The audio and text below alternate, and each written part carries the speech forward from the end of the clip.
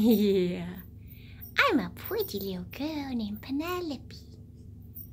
Making biscuits. Making biscuits. Penelope.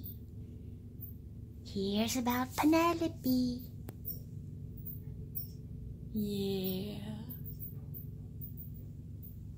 Yeah. She's a good girl. She's about two years old and she would love to have a home. Yes, quiet home preferably. But she wants to give love so badly. Sheets Pet Clinic. Pet adoptions at sheetspetclinic.com, right? Who's the pretty girl? I am.